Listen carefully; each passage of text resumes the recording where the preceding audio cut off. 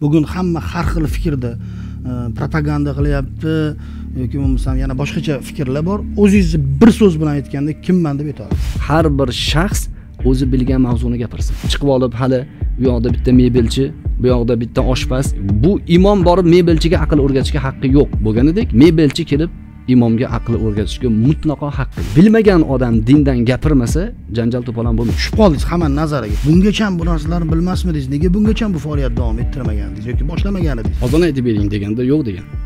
Payg'ambar aytgan paytlarida aytardim. Lekin hozir aytsam meni qahramon deyishadi aytmayman.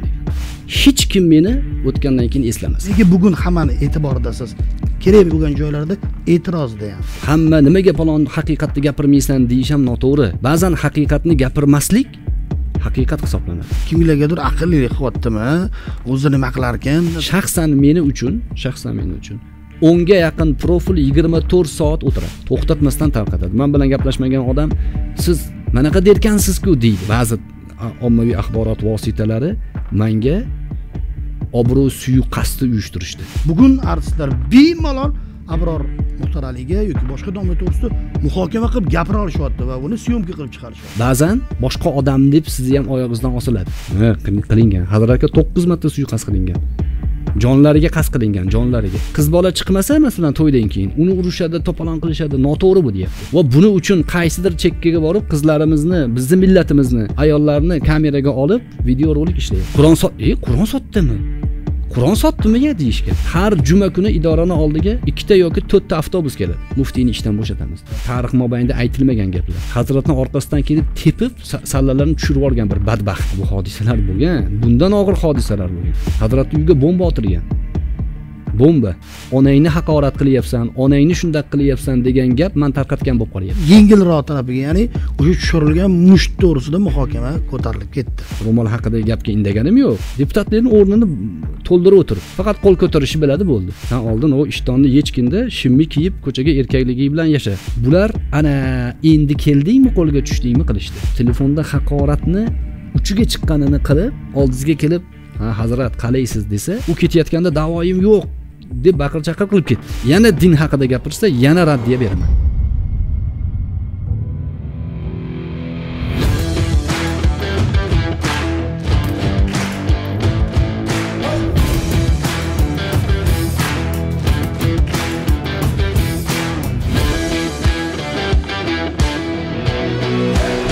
Assalomu alaykum. Cho'tka tv kanali yakkama yakka ko'rsatuvi. Yana noodatiy holatda kutilmaganda suhbatdosh tanladi va albatta ana shu suhbatdoshdan bo'ladigan javoblar bo'ladigan savollarni kuzatishga tavsiya qilamiz. Подписка tugmasini bosinglar qo'ng'iroqchani bosinglar kommentariyalar qoldiringlar. Bu iltimos emas bu xohishinglarga havola lekin kommentariyalardan xulosa chiqarib ko'rsatuvni yanada boyitish maqsadimiz bor. Bugungi suhbatdoshimiz ko'pchilikni diqqat markazini egallagan inson abror muxtor ali.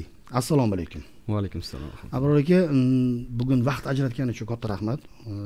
Man juda yam xohlagan bo'lardim. Bugungi suhbat xayrli va natijali bo'lishligini bu suhbatdan keyin ko'pchilik o'z ichida balkim yonidagi insoni bilan siz haqingizda sizni e, hayotingizda bo'layotgan munozaralarga bo'layotgan voqealarga javob topishligini istadim. Va e, savolni berishdan avval bir narsani aytmoqchiman. Biroz qo'polroq bo'lsa ham qo'y ham mol ham o'z oyog'idan osiladi. Hmm. har bir inson gapirgan gapi qilgan ishi uchun qilgan amali uchun o'zi javob beradi. Ollohni oldida ham bu yerda ham.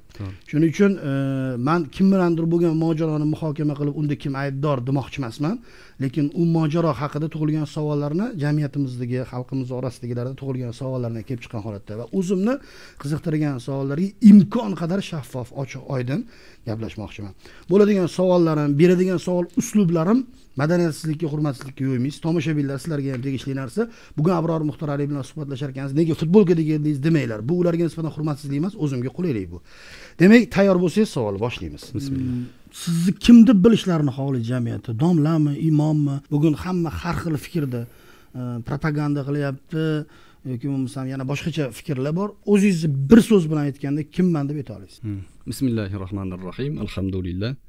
Vassalotu vassalamu ala rasulilloh ommabop man o'zimni bir so'z bilan aytganda musulmon shaxs deb bilaman va meni kimdir nimadir deb nomlashligi to'g'risida shu kunga qadar o'ylab ko'rmaganman. Meni nimadir deb nomlash nomlashsa ekan degan fikr hayolimga kelmagan va bu hayolga kelishlikka ham hozir e, ya'ni e, harakatim yo'q. Men nima bu savol berayotgan sababi bir umr va sizdan keyin ham abror muhtarali aytgandek degan gaplar buyursa yoki bo'lmasam e, abduxoliq aytgan yoki bo'lmasam rixsivoy aytgan demasdan falon kasb egasi deb e, murojaat qilishlari eslashlari uchun bir sabab bo'lishi uchun nima deb nomlasak bo'ladi sizni? Domla deymizmi imom deymizmi yo bir e, din himoyachisi deymizmi? Yo endi buni masalan ba'zilar yomon sifat bilan sifatlayapti deylik misol uchun. Ba'zilar maqtaydi ba'zilarda mubolag'a bor. Ba'zilar o'rta yo'lni tutadi. Lekin meni mana bunday nomlashlari kerak degan fikr menda yo'q. Meni qanday nomlashlikni tarix hal qiladi. Tarix insonni izidan o'zini nomini qo'yadi. Sizga qiziq emas bu. Qiziq emas lekin menga qiziq nima?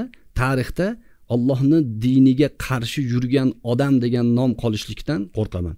Ollohni diniga qo'ldan kelgancha xizmat qilgan musulmonlarga xizmat qilgan inson sifatida harakat qilaman. Va buni ajrini odamlardan kutmayman.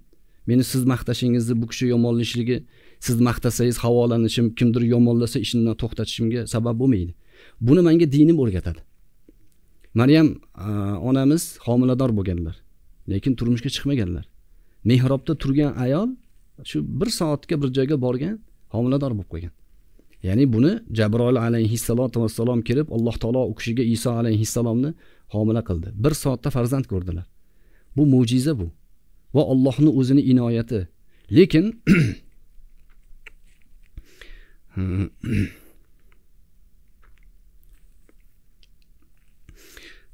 bu narsani eslashlarini xohlamagan.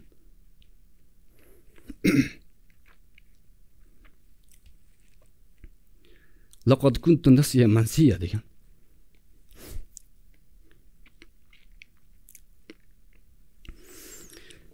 Meni hech kim eslamasin degan.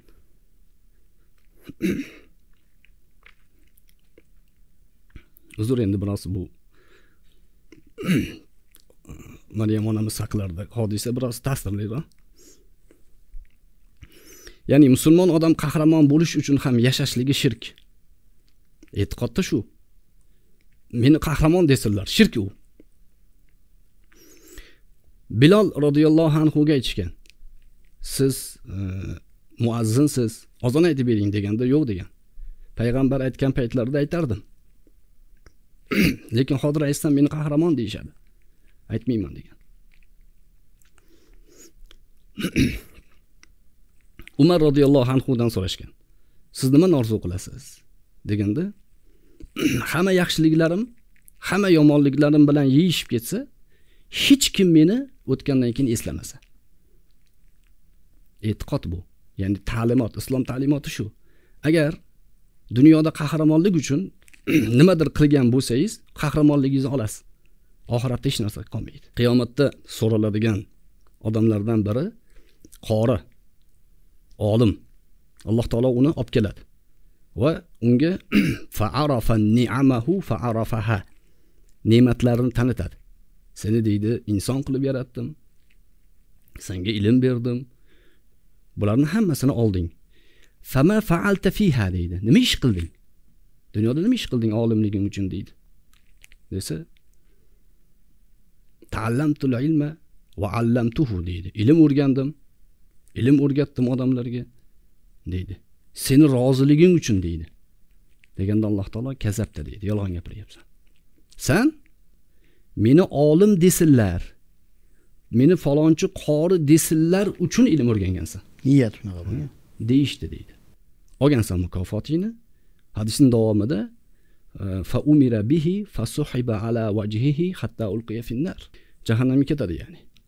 Undan tashqari shahid shahid jonini fido qilgan odam. Qahramon desinlar uchun urushgan jahannamga ketadi. Keyin boy odam faqat Alloh yo'liga pul sarflagan ya'ni bidatga haromga harishga saplamagan masjid qurgan madrasa qurgan katta ishlarni qilgan. Lekin odamlarni ko'ziga qilgan riyo uchun qilgan. U najot topmaydi. O'sha manzilga ketadi hadis bu. Uchta qahramonni gapi. Ya'ni bu meni kimdir nimadir deyishligi qiziq emas meni olloh nima deydi? Qilayotgan ishim to'g'rimi noto'g'rimi? Shariatga tushadimi yo'qmi? Albatta xatodan xoli emas inson. Xato qilamiz. Xatolar insonni yaratilishligi bilan birga yaratilgan. Ya'ni bizni xato qilishligimiz insonligimiz. Farishta emasmiz biz. Ammo xatodan tavba qilish uni e'tirof qilish va uni to'g'irlash bizni sifatimiz. Bunda endi kimdir yaxshilashi kimdir yomonlashi keyingi etapdagi ahamiyatsiz siz uchun. Ho'p siz bugun qilayotgan faoliyatingiz yuritayotgan faoliyatingizni demoqchisizki gapingni olasiz olloh uchun. Qilyapman. Olloh yo'lida demoqchisiz. To'g'ri iloyo olloh uchun bo'lsin. Demak qalbingizdagi maqsad ham shu. Albatta. Necha yoshsiz hozir? Hozir qirq to'rtga kirdim. Qirq to'rtga kirdingiz.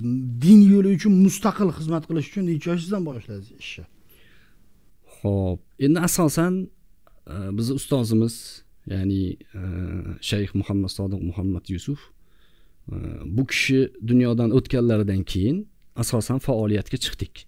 Ungacha bizda faoliyat bor edi. Hazratni qanotlari ostida u kishini buyruqlari bilan u kishini tavsiyalari bilan maslahatlari bilan bo'lardi. Endi mm, yana bir narsani aytay. Man faoliyatimni qandaydir diniy faoliyat man bir xizmat qilyapman ham deya olmayman. Bu xizmat naqadar e, xizmat deb nomlanadi uni ham bilmayman. Lekin videolardagi savollarga yechim topasiz xizmat bu ham. Endi balki buni kimdir xizmat deb ataydi man buni mas'uliyat deb bilaman masalaga javob bilib turib javob bermasa ya'ni buni har doim emas ba'zan masalani bilasiz javob bersangiz undan og'irroq muammo kelib chiqishi mumkin. Buni ham o'lchomi bor. Hamma nimaga palon haqiqatni gapirmaysan deyish ham noto'g'ri. Ba'zan haqiqatni gapirmaslik haqiqat hisoblanadi. Jim turishlik haqiqat bo'ladi. Chunki payg'ambar alayhissalotu vassalom abu hurayra roziyallohu anhuga bor ayt kim la ilaha illalloh desa jannatga kiradi deganlar. U kishi borib aytaman desa hazrati umar to'xtatganlar. Qayerga ketyapsan shunaqa dedilar payg'ambarimiz. Kim la ilaha illalloh desa jannatga kiradi dedilar. Mana kovushlari degan kovushlarni berganlar mana. Deganda qayt orqaga? degan. Kelib ey ollohni rasuli bu gapni aytsak odamlar suyanib qoladiku degan. La ilaha illalloh deydi namoz o'qimaydi. La ilaha illalloh deyman ro'za tutmaydi yaxshilik qilmaydi. Shu kalimani aytsam bo'ldi ekan deb qoladiyu aytmaylik deganlar. Tavsiyani qarang deganda payg'ambarimiz izan yattakilu deganlar to'g'ri suyanib qoladi unda deganlar lekin baribir keyinchalik sahoba aytgan nimaga? Ilmni berkitishlik ilmni berkitishlik. Soqov shayton deyiladi yana. Shaytonul ahros deyiladi. Uni berkitlikdan qutulish uchun aytilgan. Bu bu hadisdan nima manfaat olamiz desa ba'zan ba'zi narsalarni aytmay turish jamiyatni holatni vaziyatni taqozosi bilan tushunarli. man nega sizga necha yoshsiz qachon faoliyat boshladingiz degan sababi bejiz emas. Kechagi bo'lgan voqealar kimnidir urgan boshqalardan avvalroq ham hisob kitob qiladigan bo'lsangiz siz taxminan besh yil to'rt yildan beri e'tiborga nazarga muhokamaga tushib qoldingiz hammani nazariga bungacha bu narsalarni bilmasmidingiz? Nega bungacha bu faoliyatni davom ettirmagandingiz yoki boshlamagan edingiz besh olti yil atrofida abror muxtar ali degan shaxs paydo bo'lgan hammani oldida. Bunga bahona qilolmaymiz internet rivojlanmagan deb chunki rivojlanganiga ancha bo'ldi. Yoki bo'lmasam internetni bahona qiladigan bo'lsa e, допустим yo'q edi internet desa qorilarimiz ma'ruzalari bilan amri ma'ruflar bilan disklar chiqarishgan edi. Nega siz bugun oxirgi bir to'rt besh yil ichida ko'rindingiz? Va nega bugun hammani e'tiboridasiz kerak bo'lgan joylarda e'tirozdayamsiz nega unaqa sabab? Endi sabablar e, o'sha e'tiroz bildirayotgan jihatlardan ham bir so'rash kerak. Lekin e, meni faoliyatim to'rt yil besh yil bo'lmadi ya'ni internetda. Asosan facebook ijtimoiy tarmog'ida. Yuzaga chiqqaningizga e, facebook ijtimoiy tarmog'ida jonli muloqotlar darslar savol javoblar boshlanishi post qo'yishlar izoh yozishlar o'n ikkinchi yillardan meni taxminim bo'yicha hozir istoriyasiga lekin bu darajada hit emas edingiz endi boshlang'ich kirib kelish. Ya'ni biz xalq bilan muloqot e, ya'ni sababi ijtimoiy tarmoq o'zi aslida. Keyin e, jonli muloqot tashkil qildi facebook. Boshida yo'q edi. Jonli muloqot boshlaganda ko'p ustozlar boshqa e, tavsiyalar maslahatlar bilan boshqa E, radikal qarashlar bor turli masalan e, bidat toifalar bor hizbiyga o'xshagan har turli jamoalar bor. Ular bu ishlarni boshlaganda ulamolar e, ustozlar bizni jamoalarimiz hazratni shogirdlari maslahat olib turadigan ahli ilm ustozlarimiz bor. Bulardan tavsiyalar tushdi. Biz ham qilishimiz kerak. Lekin u paytlarda bunga jur'at yetarli emas edi. O'zimizda ham hammada taqiqlari bor demoqchisiz. Albatta diniy masalalar masalan jihod degan kalimani jiddi jahd deb yozishlikka majburlanardik. Jihod degan kalima biz e, hazrat rahimaullohni qo'llarida sihoh tisa degan kitobni tarjimasini tugatganmiz. Bu to'qqizta kitob. Buni umumiy majmuasi oltmishga yaqin kitob chiqadi. Hozir buni sakkiztasi imom buxoriy chiqqan endi imom muslimni birinchisi chiqdi. Bu yoqda yana hozir ellikdan e, oshiqroq kitob bor. Buni ichida jihod bobi bor. Shunaqa boshimiz qotardi. Bitta kalimani ustida senzura. Biz jihodni jihod deb nomlolmaydigan davrlarda tashqarida jihod qurol deb odamlarni o'ldirib yurganlar juda katta ya'ni foyda ko'rdi qo'shtirnoq ichida. Ularni bozori yurib ketdi. Endi lekin biz baribir jihodni jihod deb yozdik. Chiqarmasanglar chiqarmaylik dedik. O'sha davrlarda hazrat ham yo'q dedilar. Bu buxoriy bizni bobomiz. Buni qoldirayotgan asarlarga xiyonat bo'ladi. Buni ba'zilar bu bobni olib tashlaysiz deydi. Yo'q dedik buni chiqmasa chiqmasin biz buni tarjima qildik qilib qo'ydik. Ana shu faoliyatlarda jonli efirga chiqib maydonda buni gapirish biroz e, jur'at talab qilardi. Qiyin masala edi. E, man birinchi suhbatlarimni bilaman takfir masalasida boshlaganman. Takfir degani e, bu bir musulmonni san kofirsan deyish. Bu nima uchun buni aytganman? Chunki o'zbekistonni kofir kufr mamlakati bu joy. Bu yerdagi hammasi murtad. Shuning uchun bu yerdagi ayollar qizlar bolalar hijrat qilib chiqish kerak degan da'vatlar bo'lardi. Ba'zi joylarga o'tirib olgan odamlar. Endi bu mavzuni e, zikr ahlidan so'rang bor unga so'rashadi. Endi bizni shaxsiy sahifamiz bor bizdan so'rashadi. Qarasak muammo bu ish. Hatto ba'zi ayollar erini tashlab ketib yuborgan. O'zi nimaga desa chunki erim kofir. O'rtamizda nikoh yo'q. Tushuncha islomni noto'g'ri talqin qilishlikni orqasidagi natija. Keyin man chiqib taxminan hozir esimda yo'q lekin istoriyada turibdi. O'nga yaqin dars qildim. Takfir to'g'risida. Takfir nima?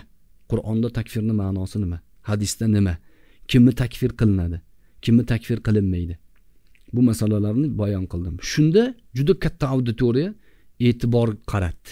Ya'ni u joyda hozirgi kunga o'xshagan bahslar yo'q lekin maydonga o'zbekistonda turgan odamlar takfir masalasiga javob topdi. Natija nima bo'ldi? Endi o'zbekistonni kofir deyayotgan biz musulmonlarni kofir tez kunda borib sizlarni hammanglarni so'yamiz deyayotgan u paytda ishit tashkilotlari buni ko'rgansizlar. Hmm. o'shalar ularning nazari bizga tushdi ular nazar mishenini bizga qaratdi. Ye deydi bu nima deyapti? deyishdi. Ana o'shandan boshlandi. Ular e, yana bir faoliyatni aytadi. Biz ularga ilmiy asosini qaytaramiz. Hech qachon madaniyatdan chekinmaymiz. O'sha paytlarda ham hozir ham bundan keyin ham inshaalloh vazifamiz bizni. Lekin ular javob berolmaydida bizni gapimizni montaj qilishadi. Shaxsan meni uchun shaxsan meni uchun o'nga yaqin profil yigirma to'rt soat o'tiradi. Meni har bitta gapimni kesib montaj qilib ha deganimni yo'q yo'q deganimni ha dedirib o'tirib tarqatadi. To'xtatmasdan tarqatadi. Man bilan gaplashmagan odam siz manaqa derkansizku deydi. Kelsa o'sha joyga qo'yib bersam uzr ming bor shuncha joyda sizni g'iybat qildim kechirasiz deb ketadi. Originalni qo'yib bersam originalni qo'yib bersam masalan o'sha mavzu bo'yicha. Endi shu raddiya masalasi shundan boshlandi man o'sha e, ham musulmon deb bilaman ba'zi odamlarni ba'zilari o'tib ketdi dunyodan. Ularni o'zlariga ham aytganman. Sizlar musulmon xalqini kamaytirishni maqsad qilmanglar. O'zbekiston aholisi to'qson besh foiz musulmon. Dinini yaxshi o'rganmagan odam kofir bo'lib qolavermaydi. Va buni ilmiy asoslari. Ana undan keyin o'sha jarayonlarda endi orada sizni e, suhbatni boshida ogohlantirganim sovet davrini yashab o'tganmiz. Dahriy tuzumni qoldiqlari bor ichimizda. Ya'ni fikr dahriy bo'lishligi shaxsiy ishi. Lekin dahriy ateizm tushunchalarini sizga singdirmoqchi bo'lsa gruppalar ochib atrofidagi odamlarni dahriylashtirish siyosatini yurg'izsa majbur bo'lamiz unga raddiya berishlikka. Nimaga? Biz musulmonmiz avlodlarimiz olloh yo'q deyishligini e, xohlamaymiz. Va ularga qarshi islom vis ateizm degan guruh ochdik. Endi bizni ro'baro'yimizda dahriy ideologlar bizni dushman ko'rishni boshladi. Doim madaniy suhbatlashganmiz. Ular bilan qanchasi bilan suhbatlashganmiz? Maktab paytida ham man e, ateizm nazariyalari u qayerdan kelib chiqqanligi marksning nima nazariyalari bor ingliz qanday ishlarni qilganligi lenin bundan qanday foydalanganligi kapitalda asos nimadan iboratligi? Bularni o'qib o'rganganman. Darvinizm ta'limoti. Darvinizmni asosiy quvvati qayerdan kelayotgani. Nima uchun uni siyosiy bizga o'rnatishgani? Nima uchun buni tanlangani? Nima uchun lamarkni olishmagani? Bularni o'qiganman. Va dahriy ateistlar bilan bo'lgan bahslarda yana qaytadan ko'rishga ehtiyoj tug'ildi. Va ular bilan ilmiy bahslarimizda ular to'g'ri javob berolmagandan keyin endi ular haqoratga o'tishni boshladi. Endi dahriylar ichida ham man bilan suhbatlashadigan odamlarni ichida haqorat qiladi montajni tarqatadi yuqoridagi montajlardan foydalanib bu asli bunaqa deydi. Lekin ilmiy suhbat yo'q. Yaqinda zoom ochilganda man ateist dahriylarga nisbatan aytdim. Har kimni shaxsiy fikri hurmat qilinadigan narsa shaxsiy fikri. Ya'ni uni e'tiqodi hurmat qilinmaydi. Ya'ni e'tiqodi degani e, san dahriy ekansan dahriyligingni hurmat qilaman demaydi. Shaxsiy fikringni hurmat qilaman. Dahriy bo'lsang dahriy bo'lasan qurbaqaga ibodat qilsang qurbaqaga ibodat qilasan. Bu seni ishing. Lekin buni yoyma. Odamga boshqa odamga majburlab singdirishlikka yoki bu haqiqat deyishlikka e, diskussiya kerak. Qarshingda odam bo'lishi kerak. Haqiqat deb tarqab qochib ketsang haqiqat bo'lmaydi. Kel o'tir gaplashamiz dedim. To'rtta beshta menimcha qo'ydim youtubeda. Odamlar ko'rdi. Juda yaxshi e, ya'ni natija bo'ldi. E, dahriy tushunchadagi odamlarni ilmiy asosi yo'q. Ilmiy asosi yo'q. Ularga ular xohlagan tilda mantiq bo'yicha javobini berdik va yaxshi qabul qilganlari bor.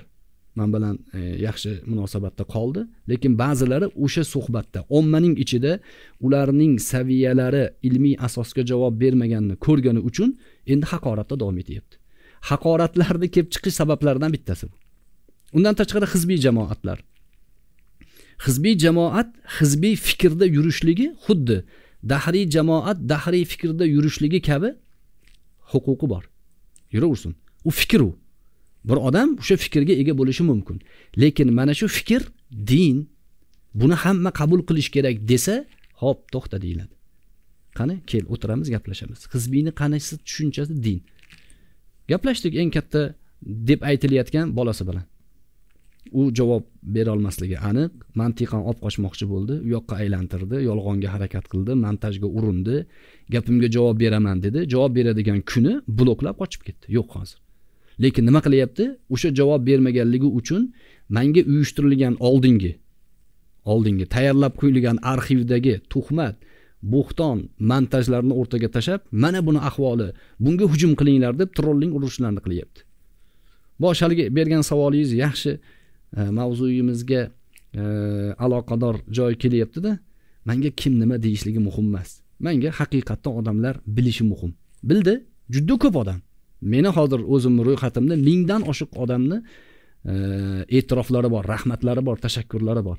Bularni ichida kamida yuz ikki yuzga yaqin qo'liga qurol olib suriyaga borib odam o'ldiraman jihod qilaman degan aldanganlarni qaytib ya'ni to'xtagan yo'ldan to'xtagani manga tashakkur aytib hozir to'g'ri yaxshi saviyadagi musulmon bo'lib hayot kechirayotganlari bor. Bu e, Allohning nusrati deyman. Man qildim demayman buni ham. Alloh mana shu natijalarni beryapti. Man alhamdulillah deyman. Xatolarim ham ko'p. Xatolarimni o'zim bilaman uni to'g'irlashga harakat qilaman. Manga bir samimiy do'stim o'rtog'im buni aytsa qabul qilaman. Shunaqa o'rtoqlarim bor. Tikka yuzimga mana shunaqa shunaqa deydi man qabul qilaman. Chunki samimiy u. Uni manfaati yo'q. Manfaati yo'q. Bu albatta atrofimda shunga o'xshagan yaqin do'stlarimdan tayinlab qo'yganman. Lekin to'g'ri deb bilganimdan hech qachon taviz bermayman. Bu to'g'ri bo'pti demayman. To'g'ri bo'pti san xato qilaver demayman. Yo'q to'g'rimi? To'g'ri deyman. Ya'ni natijalar shu. Demak asosiy faoliyatga raddiya bo'lgan faoliyatlar ichida hozir sizga taxminan ko'rsatganim uchta. Havorijiy toifalar bu havorijlarga ko'pchilik kiradi. Ishit ham kiradi salafiysi ham kiradi turli toifalar. Bularni da'vatchilari bor. Ularni faoliyatlariga zarba bo'ldi bu. Keyingisi ateizm tushunchasini tarqatmoqchi bo'lganlar. Undan tashqari hizbiy jamoatlar. Endi shu o'rinda man e, siyosiy bu ishlarni siyosiy fundamentini ham ko'rdim. Chunki hizbiyni orqasida salafiyning orqasida ateizm ideologiyasini tarqatishmoqchi bo'lgan tashkilotlarning orqasida missionerlar bor. Masalan iego va shohidlari nomi bilan kiradi sizga qo'lingizga injilni beradi ko'zingizni yumib duo qiling deydi. Ko'zingizni yumib duo qilib ko'zingizni bitta ochsangiz injil qo'lingizda yer ularni qo'lida bo'ladi. Sistema bu. Buni orqasida tashkilotlar bor. Ular bu ixtiloflarni qo'zg'ab bizni bir birimizga urushtirib yerimizni joyimizni olish maqsadini qiladi. Demak man ko'rdim shuni. Ba'zi ommaviy axborot vositalari manga obro' suiqasdi uyushtirishdi. Obro' suiqasdi bu nima degani? Jurnalistikada bu bor termin. Ya'ni e, to'g'ri gapirsangiz ham sizni noto'g'ri gapirganga chiqarish va buni yoyish. U jurnalistlar orqasida siyosat turibdi. Endi e, beshinchi yoki to'rtinchi manga bo'lgan maydondagi muxolifat siyosiy muxolifat. Siyosiy muxolifatga man hurmatim bor. Masalan siyosiy muxolif bo'lishi tabiiy va bo'lsin lekin siyosiy muxolifat nomi bilan yolg'onlar tarqatadiganlarga man aytamanki noto'g'ri bu. Isbotsiz ma'lumotlar. Isbotsiz ma'lumot va bu obro' suiqasdi orqali go'yo manga masalan e, ba'zi odamlarni tushunmayotgan jihati bor. Meni obro'yimga tajovuz qilsa man nimadir e, ularga yurishim kerak. Man sizga aytdim manga obro' birinchi planda emas ikkinchi planda ham emas o'ninchi planda ham emas. Obro'ni odamlar nazdida ko'zga ko'rinib topishlikni xohlamayman. Kerak emas u obro' alloh subhanahu va taoloni nazdida. Istaqim kama umirta degan payg'ambarimizga. Payg'ambarga buyurganimizdek turing degan. Olloh nimani buyurgan bo'lsa turish kerak. Payg'ambarimiz shunaqa ishlarni qilganlar u ishni qilsa butun jamiyat orqaga ketib yuborishi mumkin. Yuz o'girib. Odamlarni o'ylab shunaqa vaziyatda to'xtamaganlar qilganlar u ishni. Masalan zayd ibn horisa degan boqib olgan o'g'illari bo'lgan. Arablarni urfida boqib olingan o'g'il xuddi o'g'ildek. Shunaqa urf. Payg'ambar alayhissalom zaydga zaynab onamizni nikohladilar. Oralarida kelishmovchilik bo'ldi ular ajrashadigan darajaga keldi. Alloh taolo ajrashsin bular iddasi tugagandan keyin zaynabni olasiz degan buyruq qildi qur'onda. Faraz qiling. Butun mushriklar payg'ambarimizni xatosini izlab o'tiribdi. Bitta xato qilsa butun dunyoga yoyamiz deb turibdi. O'sha paytda o'zini o'g'lini qizini kelinini ajratib uylanib oldi degan gapni tarqatish ehtimoli turibdi. Lekin alloh taolo nima deyapti? Uylaning. Nima uchun? Arablardagi shu urfiy xato tushunchani botil ya'ni parchalash uchun. Boqib olingan o'g'il asl o'g'il emas u. Uni e, asl o'g'il sifatida qaralmaydi. Tabanniy degan shu katta fan bor. O'sha fan shundan shakllangan. Ya'ni shu qilmoqchi bo'lgan ishimiz mana shu jarayonga keldi. Endi o'sha aytganimdek ba'zi tashkilotlarni ichida mm, ko'pini orqasida siyosiy muxolifat yotadi. Xalqni faqat muammosini gapirishdan ko'zlagan maqsad ham shu. Nimaga? Mavjud tizimni sabotaj qilish. Bu tizim eplolmayapti. Nimaga? Chunki ana e, ko'cha loy bo'lib turibdi. Bu tizim eplolmayapti. Nimaga? Ana bugun oy chiqmadi. Masalan suvdan bahona. Bunaqa bahonalar bilan yechilmaydi. Biz nima qilishimiz kerak? Biz ha to'g'ri bu joy loy. Nima qilishimiz kerak? Biz o'zimiz shuni harakatini qilishimiz kerak. Yana siyosatda davlatchilik degan tushuncha bor edi sssr paytida. Ya'ni dunyoni boshqaruvi sotsial boshqaruv bor kapital boshqaruv bor. И o'sha sotsial boshqaruvda siz man ishchiman oddiy. Hamma narsani davlat qilib beradi. Bu tushuncha odamlarni ongida singib qolgan. Bu noto'g'ri tushuncha. Hamma narsani davlat qilib bermaydi. Davlat biz o'zi. Shu jamiyatni tashkiloti biz. Ko'chada toshmi olib qo'yaveray shuni. Voy tosh bor ekan deb videoga olib ko'chaga tarqatganda. portalga yozib. Nima kerak buni uni olib qo'y bo'ldi. San shu jamiyatda yashayapsanmi olib qo'y. Kelib davlat qilib beradi degan tushuncha yo'q. Shu davlatni rivojlantiradigan xalq qiladi hamma narsani. Biz aktivlashgan sari davlat kuchayadi. Biz fidokor bo'lgan sari davlat fidokor bo'ladi. Ya'ni bir katta millatni xalq tashkil qiladi har qanday davlatni boyligi kuchi quvvati xalq. Mana shu tushuncha endi mustaqillikdan buyonda ko'pchilikda shakllanyapti lekin o'sha muammoni gapirib muammoni gapirgan odamni yaxshi ko'rib o'tirib olgan ukrainada bittasi. Muammoni gapiraveradi gap ho'p buni yechimi nima? desangiz yo'q yana muammo. Endi man tarixni o'qidim islom tarixida. Ahli sunna val jamoa degan bir jamoa bor. Bu jamoa qiyomatga qadar adashmaydi. Adashmaydi qiyomatga qadar. Bular masalan salaf sahobalarni e, tutumi ularni shogirdlari abu hanifalar imom shofiiylar imom moliklar e, ahmad ibn hamballar sufyoni savriylar bir qancha odamlar. Imom buxoriylar imom muslimlar. Bular qiyomatga qadar adashmaydigan jamoat. Mana shu jamoatga muxolif bo'lgan bulardan ajrab chiqqan musulmonman degan ajrab chiqqan yetmishdan ortiq adashgan toifalar bor. Tarixda bularni hammasini o'rgandim bitta faktorga suyanadi. Hammasi tanqidga suyanadi. Ali xato qilgan o'ldirish kerak. Bu havorijlar sahobalar xato qilgan ular kofir bo'ldi. Shialar. E, bular xato qilgan e, qadarga suyanib olgan bular qadariylar bular ollohni sifatlarini undoq deydi mutazilalar tarixni o'rgansangiz odamlarni o'ziga jalb qilish uchungina tanqidga murojaat qiladi. Va tanqidni orqasida yechim bermaydi.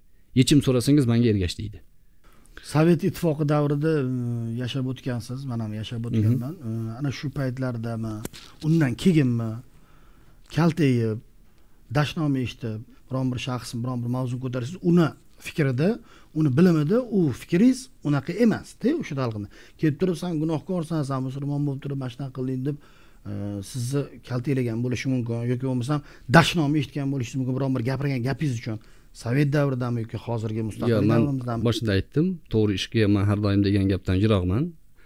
Va e, sovet davrida diniy faol faoliyat e, da'vat e, kimgadir nimanidir uqtirish masalasi bo'lmagan. Yo ommaviy emas odamlar shaxsiy orada ham unaqa unda ham unaqa holat bo'lmagan. Bilmayotgan paytingizda ekan. Undan keyin mustaqillikdan buyog'ida masalan deylik e, mustaqil bo'lganimizda e, man farg'onaga o'qishga borganman. Farg'onadan keyin e, namanganga borganman andijonga borganman. Bu orada ikkita madrasa uchta madrasani o'qiganman. Ya'ni bitta madrasani tugatganman ikkita madrasani yarim tashlashga majbur bo'lganman ba'zi sharoitlar bilan. Keyin ikki minginchi yilda toshkentga kelib toshkentda o'qiganman. Ikki minginchi yilda toshkentda o'rikzor dahasida qorilar yetishtiradigan joy bor edi aynan oliy e, islom mahadini filiali. U yoqqa o'tib e, qur'on yodlaganman. Bir yilda qur'onni tugatganman. Va qur'onni xatmga o'tish davrida e, xatmga o'zimizni aloqa mahallada xatmga o'tganman. O'sha davrlar abdurashid qora aka alloh rahmat qilsin muftiy edilar. U kishi ya'ni o'zlarini qo'l ostidagi xodimlarga juda mehribon inson edi. Bu kishi muftiy anvar qor aka u paytda shahar qozisilar. Xo'ja ahror valiyda menimcha imomadalar man xatimga o'tib xatimdan keyin mahalladagi xalq haloyiq oddiy manga suhbat qilib berishini taklif qilishgan. U paytda o'sha diniy suhbat qilish rasmiy doiralarga tegishli boshqa odam gapirishga haqqi yo'q har turli gaplar bo'lardi. Lekin man chiqib qur'on xatm qilamiz. Bu zohidjon qori akani o'g'illari bilan. Alloh rahmat qilsin e, bitta o'g'illar o'tib qoldi. Alijon qori bilan birga o'tganmiz va suhbat qilardim orqasidan. O'sha paytda o'ttiz kun ramazonda suhbat qilganman. Juda ko'p odamlardan e, e'tibor bo'lgan. U paytda internet yo'q. Telefonlar endi paydo bo'lgan paytlar bizda. To'g'ri telefon to'qson uchmi to'qson to'rtda bo'lgan lekin hali rivojlanmagan payt. Internet umuman yo'q. Juda katta endi rezonans bergan. Mahallalarda moshinalar tiqilib ketgan keyin oxiri anvar qora aka kelganlar. Alloh rahmat qilsin. Kelib masjidda qora aka shahar bedarvoza emas bunaqa qilmang ruxsatsiz gapiryapsiz degan. Abdurashid qora aka chaqirganlar u kishi ham yaxshi nasihat qilganlar ya'ni sizga? Ha suhbatga e'tiroz emas ya'ni siz talabasiz. Talabaman u paytda o'sha davrda aytganingizdek mahallamizda suhbatimni yozib disk qilib ko'chaga tarqatib ham yuborishgan u paytda hozir eshitib ko'rsam biroz xijolat ham qilaman. Yosh bo'lganman endi. Hozir yigirma yil undan keyin hayot tajribam bor ya'ni. Yigirma yil oldingi gaplarim. Lekin bunga nisbatan qandaydir e'tiroz yo'q. O'sha paytda masalan aqida to'g'risida e, yusuf alayhissalomni qissalari to'g'risida turli suhbatlarni qilganman. O'ttiz kun ramazonda xatmga o'tamiz xatmni davomida e, ya'ni suhbat qilamiz. Gaplashib oling. Yo'q emas hmm. suhbat qilamiz. O'sha paytda anvar qor aka aytganlar yo'q shoshilmang siz tugating o'qishlarni e, rasmiy bir anaqada ishlaymiz deganlar. Keyin anvar qor aka o'zlari bilan ishlashga to'g'ri keldi. Mm, abdurashid aka alloh rahmat qilsin o'tib ketdilar. Va ba'zi anaqalarda menga muammolar ko'z tikish boshladi o'sha paytlarda. Lekin alloh rahmat qilsin o'zlarini e, ya'ni sohalaridagi odamlarni qattiq himoya qildi. Abdurashid aka ham himoya qildi anvar qor aka ham e, menga hayfsan berishdi o'sha paytlarda. Madrasadan hattoki biroz chetlatilishimga sabab bo'ldi. Keyin yana qaytadan tiklab tugab shunaqa bo'ldi. O'zi umumiy holat shu. Lekin diniy soha bo'yicha kim bilandir shu kungacha urushib janjallashib yoqalashib qamalashish unaqa narsa bo'lmagan. Bugungi kunda o'zbekistonda amalga oshirilayotgan ishlar ya'ni diniy yo'nalishdagi ishlar va ana shularni jamiyatga tegishli bo'lgan joylari tegishli bo'lmagan joylari umuman diniy holatimiz o'zbekistonda ketayotganda nimalar sizga to'sqinlik qilyapti nimalar sizni g'ashingizga tegyapti hozirgi kecha kunduzda shaxsiy fikringiz. Ho'p e, diniy e, sohani siyosiy e, rivojlanish tabaqasi jamiyatga moslashuvi yoki xalqni diniy saviyasiga e, tegishli bo'lgan jihatlari bor. Din bu e, hayot tarzi. Musulmon odam e'tiqod qilgandan keyin diniga ko'ra yashashlik tarz. Lekin shu yashash tarzida dinni to'g'ri tushunish bor noto'g'ri tushunish bor. Boshqa sohalarda ham bor bu narsa lekin dindagi to'g'ri noto'g'ri tushunishni e, xatari og'irroq. Chunki u E, ideologik mavzu. Bu ideologik mavzuni orqasidan e, insonlar pulga obro'ga e'tibor qilmaydi. E'tiqod bilan ba'zi ishlarni qilib yuboradi. Shuning uchun juda ko'p siyosiy e, mavzular bilan qurollangan tashkilotlar dinni har doim asosiy faktor sifatida foydalanishga harakat qiladi. Endi meni o'zimni diniy soha bo'yicha ma'lumotim oliy oliy mana shu islom institutini bitirganman keyin jurnalistikada magistraturini bitirganman va bu soha bo'yicha e, biroz ko'p bo'lmasada e, ta'limim bor qur'on haqida hadis haqida fiqh aqida shunga o'xshagan usul mantiq masalalarida biroz ta'limotim bor va bu masalalarda bizni ustozlarimiz o'rgatgan holat bo'yicha xalqni xossatan yoshlarni din saviyasiga e, foydalik to'g'ri yo'nalishda islomni to'g'ri tushuntirishga e, qaratilgan faoliyatlarim bor. Endi mana shu faoliyatda jamiyatda nima bunga ta'sir qiladi? Musulmon e, shaxsiyatni islomni to'g'ri talqin qilinish qilishiga e, nima to'sqinlik qiladi? Man ko'p e, izlanishlarda e, sanab o'tishim mumkin. Asosiy topgan narsam senzura deb ko'rdim. Islom dini to'g'risida islom dinini to'g'ri anglamaydigan qandaydir kuchlar mana bu mavzuda gapirish taqiqlanadi desa bu yosh avlodni dinni to'g'ri tushunishligini oldini oladi to'sadi. Va dinni noto'g'ri talqin qilayotgan qandaydir boshqa tashkilot ya'ni dinni siyosiylashtirayotgan siyosiy maqsadlariga erishish uchun dindan foydalanmoqchi bo'layotgan buni uchun mablag' tikayotgan buni uchun axborot vositalarini ishlatayotgan tashkilotlar juda katta foyda ko'radi. Nimaga? Senzura bo'lgan joyda odam hech narsani o'rganmay qo'ymaydi. Al inson harisun lima munialahu degan maqol bor arablarda. Inson o'ziga man qilingan to'silgan senzura qilingan narsaga qiziqadi. U qiziqadi u. Ayniqsa bugun to'sib bo'lmaydi. Shuni man birinchi ko'rganim shu. Endi senzurani ochib tashlashni ham xavfi bor deydi ba'zi e, bunga e, moyil bo'lgan odamlar. Nimaga hamma xohlaganini gapirmaslik kerak. Endi buni qanday senzurasi e, bo'lishi kerak desa buni qandaydir qoida bilan emas ya'ni bosim bilan emas vijdoniy insoniy iymoniy mas'uliyat bilan senzura qilsa bo'ladi. Bu senzura deyilmaydi. Bu nima deyiladi? Har bir shaxs o'zi bilgan mavzuni gapirsin.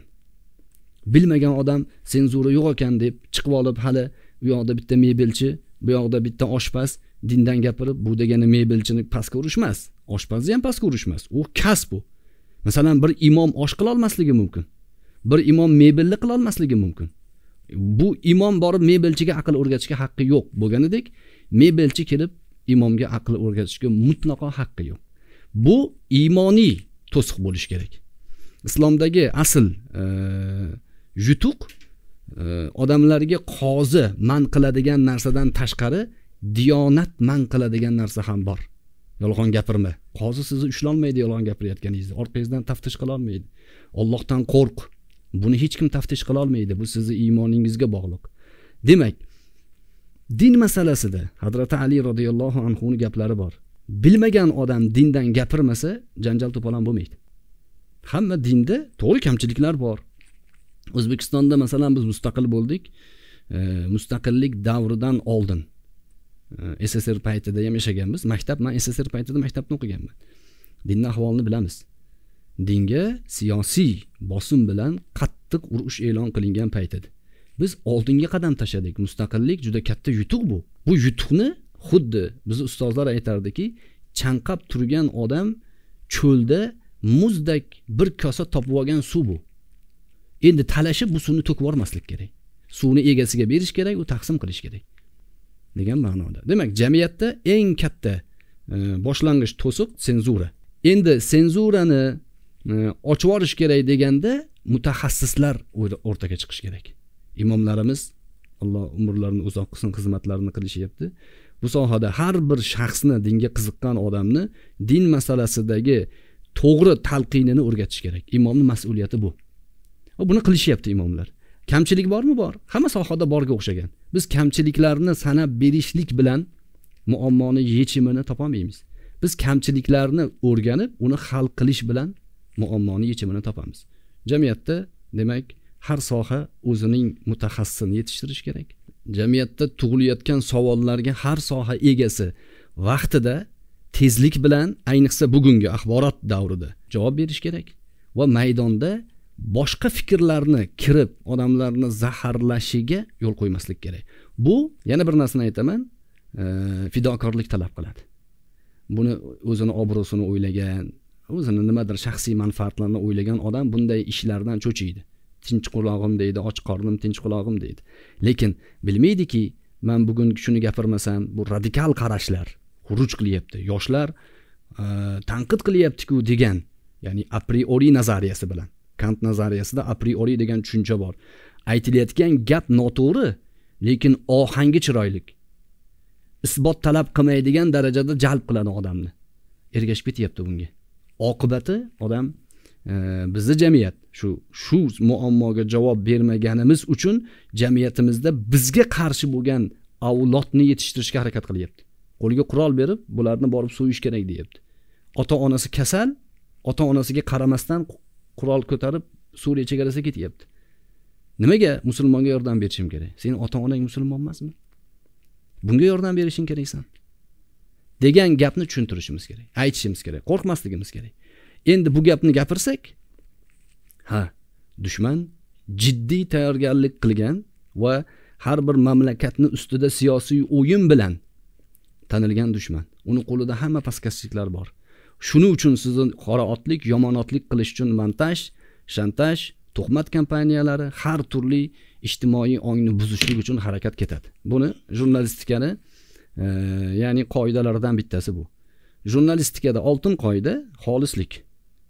Lekin jurnalistikadagi shu oltin qoida jurnalistikada yo'q. Jurnalist har doim unga pul to'layotgan odamni gapini gapiradi. Har doim. Biz xohlaymizki jurnalistlarimiz ham fidokor bo'lsin. Millati uchun kelajak avlod uchun bo'ladigan muammolarga to'g'ri yondashsin. Shu bilan inshaalloh muammolarga yechim bo'ladi degan umidimiz bor. Abrorga yana bir narsani aytaman. Bu hozir ko'rib turgan tomosha qilib turganlar hammasiga yoqadigan mavzu go'yoki g'iybat bo'lib ko'rinadi. Man diniy masalada suhbatga suhbatdosh bilan biror narsaga to'qnash kelsam ko'p ta'kidlayman buni. Ta'kidladan charchamayman ham.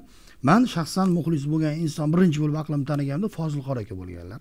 Undan keyin shayx bo'lganlar undan keyin qobilqor aka bo'lganlar. Juda yam qattiq ixlos bilan tinglayman muxlis bo'lganman. Ularda bu narsani sezmaganman. Balkim mani aybimdir kamchiligimdir lekin bugungi kunda domlalar bilan artistlar aralashib ketib qoldimikan? Yoki bo'lmasa domlalarni qadr qiymati arzonlashib ketdi. Nega bemalol bu gapni gapiryapman sababi ko'chani o'g'ri bolalari bo'lardi ko'chani разборщик bolalari bo'lardi. Fozilqor aka kelayotganda artistlar yozib tursin. Mana shu aytayotgan insonlarimiz ham bir chekkaga o'tib chakayotgan sigaretni yo'q bekitardiyu tashlab yuborardi hurmat darajasi qanaqa edi? Bugungi kun kelib san'atkor bilan birga domlalarmi imomlarmi aralashib ketib qolish jumladan siz ham bundan kerak bo'lgan paytda fikr bildirdingiz bahslashdingiz yoki e'tiroz bildirdingiz. Bugun artistlar bemalol abror muxtor aliga yoki boshqa domla to'g'risida muhokama qilib gapira olishyapti va uni syomka qilib chiqarishyapti. Ozgina qadrni arzon qilib qo'ymadikmikan? И bir paytni o'zida shunaqa kunlar bo'lganki shu san'atkorlarga ham tegishli holat san'atkor to'yxonaga kelsa uni oldiga borib dastxat qo'yish uchun qo'rqib iymanib turilardi yoki rasmga tushish uchunda bugungi kunda ular ham haligi nima deydi oradagi distansiya yo'qolib qoldi. Hurmat degan distansiya ham e'tibor degan distansiya ham bu obro'ni tushirib qo'ydik. Keyin hozir gapimiz orasida gapirib o'tyapmiz e, shayx shogirdlari. Shayx siz va boshqa domlalarga o'xshagan yo'l tutmagan bo'lardilar va tutmaganlar-ku. Birontasi biron narsa deyolmagan u odam haqida. Bu hurmatdandir balkim qo'rqishdandir lekin desa ham mabodo dedi desa ham domla e, hozirgi zamonaviy tilda aytganda diplomatichniy joyiga qo'yib qo'yganlar har doim. Bugun sal qadrimiz e, qadrimiz deb aytaman. San'atkorni ham qadri e, domlalarni ham qadri. Biroz arzonlashib qolmadimikan? Bunga sababchi kimlar bo'ldi va nimalar bo'ldi deb o'ylaysiz o'zingizni shaxsiy fikringiz. Ilm yo'lida yurgan imom domlalar bilan bu o'zlari san'at deydi. Bu biroz og'riqli mavzu lekin bu og'riqli mavzuni doim aytishimiz kerak. Ya'ni artistlar otarchilar bularni taqqoslash mutlaqo to'g'ri emas. Ikkinchidan ba'zi e, odamlarda a priori degan nazariya bor. Bu inson psixologiyasi. Inson shu a priori bilan yashaydi. Uni to'g'irlab qo'yish kerak. Odamlar falonchi haqida o'zining profilini yasab olgan. Masalan falonchi bo'lganda undoq qilmas edi. Qayerdan bilasiz. siz chunki man kuzatganman ularni yo'q siz kuzatgansiz. Siz kuzatgansiz. Siz kuzatmagan joylarda u undan yomonini qilgan bo'ladi. A priori shu. Tekshirilmagan man kuzatganmanku deb ishonib yurgan ma'lumot. Man uchratmagan ekanman biror marta u odam bu holatda. Balki uchratmagandirsiz man man man demoqchi bo'lganim sizga qaratmayapman buni. Bu bor nazariya. Butun boshli ilmiy asosi bor nazariya. E, googlega kirib qidirsangiz chiqadi. O'zi isbotlanmagan nazariya odamlar to'g'ri deb ishlatib yuraveradi va o'shani misol keltirishadi. Masalan? Masalan hozir boshida suhbat boshida aytdingiz har kimni o'zini oyog'idan osadi to'g'rimi dedingiz? Bir ma'noda to'g'ri bu. Va shuni ustiga hamma narsani qurib bo'lmaydi. Ba'zan boshqa odam deb sizni ham oyog'ingizdan osiladi. Masalan farzandingiz deb sizdan so'raladi. Ayolingiz sizdan so'raladi. A priorini buzuq joyi shu. Siz profil yasamang ya'ni yo'q odam to'g'risida. Bir odamga gapirayotgan paytingizda siz nimaga bunaqasiz?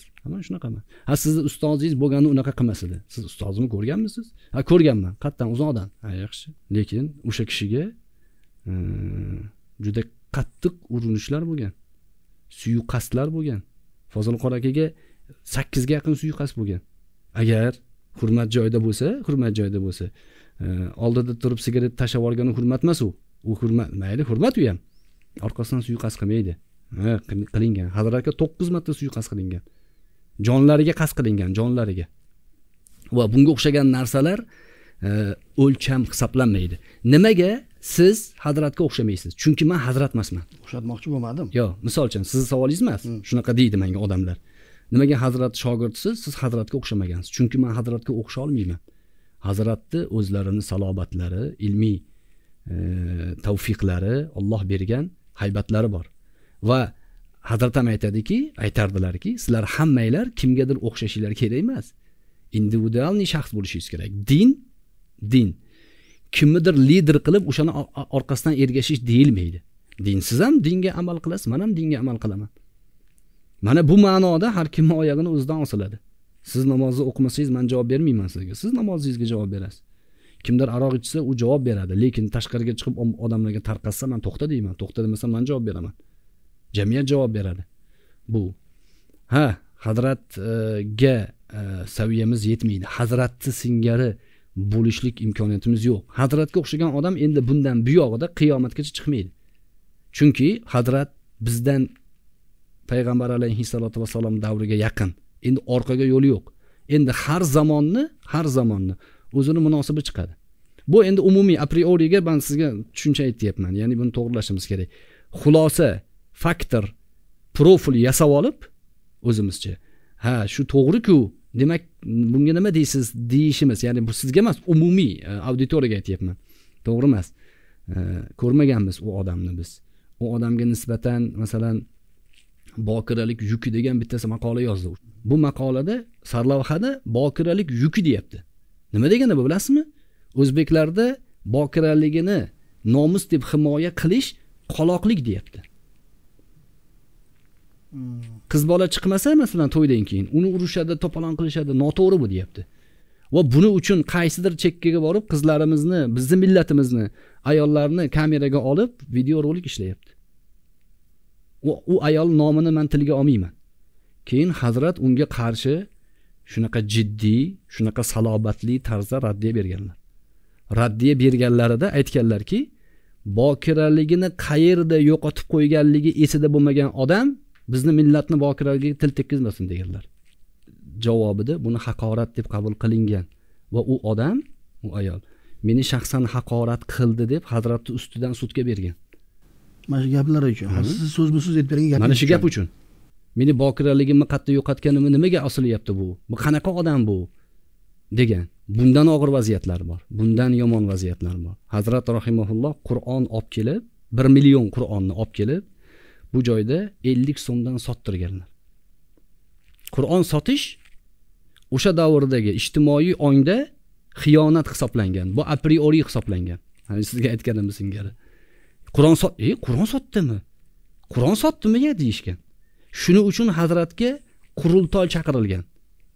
O'rta osiyo qozog'iston musulmonlarini qurultoyi chaqirilgan. Nima emish? Muftiy qur'on sotibdi ekan. Nurulloh muhammad raufxon o'shani kotibi bo'lgan. Tirik guvoh. Bir og'iz u kishi bilan ham bu haqida munosabatini eshitsangiz aytadi. U kishi bir millionta qur'on kelib sotilgan. Man bilaman hazrat nima qur'onni nimaga sotilganini va bu fitnani kimlar uyushtirganini butun o'rta osiyoning musulmonlarini liderlarini qurultoy qilib yig'ishga nimaga sabab bo'lganligini bilaman buni orqa tomonini. Uni xohlasangiz uni ham aytib beraman. Hazrat aytganlarki qur'onni bu yerda sotadigan jamoalar bor edi. Bir yuz ellik so'mdan sotishardi. Man bir millionta qur'on saudiyadan keldi va u qur'onni ularni vaqfini o'zini vaqfni yo'nalishi bor shar'iy yo'nalishda. Vaqfni yo'nalishi sotib quduqlar madrasalar suvlar yo'llarga ishlatishlikka ruxsat olgan hazrat ruxsat olganlar va ellik so'mdan sotganlar. Asosiy bu fitnaga asosiy mana shu fitnaga bosh qo'shganlar bir yuz ellik so'mdan qur'on sotayotganlar bo'lgan. Ularni biznesiga ta'sir qilgan bu. Va hazratni yomonotlik qilish uchun bu qur'on sotdi bu.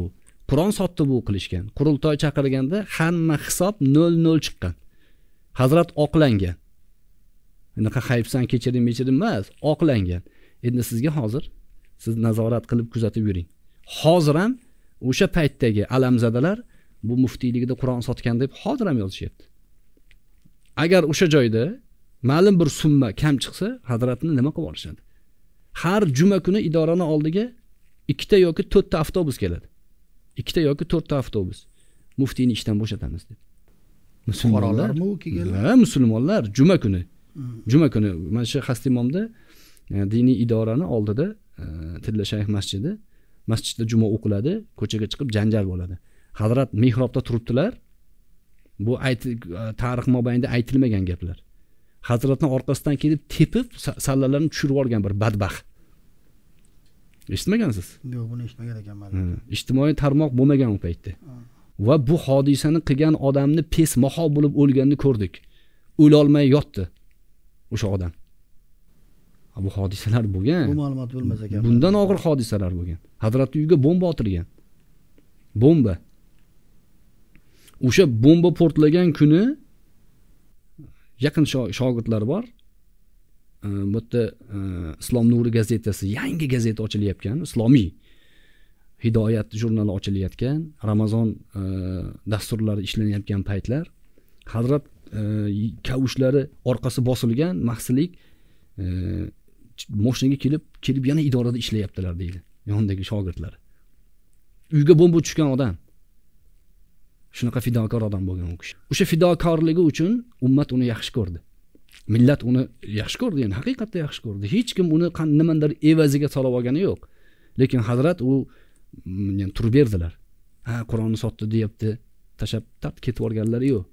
Ha endi bu anavi e, maqolani yozgan odam ma'lum bir katta bir siyosiy davlatni elchixonasida ishlayotgan odamni turmush o'rtog'i. Bokiralik yukini yozgan ayol. Yoki o'shalar bilan aloqador odam. Ya'ni siyosiy fon bor orqasida. Biz odamlarni ichiga chiqib bugun tezlashib ketdi axborot. Mana bitta gapni gapirsam amerika ishlayapti. Misol uchun amerikada bitta hodisa bo'lsa biz ishlayapmiz. O'rtada qancha soat vaqt bor? Lekin bu tezlashib ketdi. Tezlashgani uchun informatsiyani to'g'ri hazm qilolmaganimiz uchun oldingiga solishtirganda biroz haligi e, nomutanosiblik ko'rinib qolyapti. Biz nima qilishimiz kerak?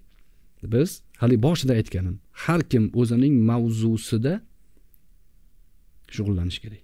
Boshqa odam boshqa mavzuga kirib ketsa bo'lmaydi. Lekin mani shaxsim to'g'risida haqorat yo'q deyapsiz. Man buni hozir ham aytaman madaniyatli bo'lishlik tarafdoriman hozir shu suhbatni orasida o'rtamizda yarim chiziq haqorat o'tgani yo'q o'tmaydi.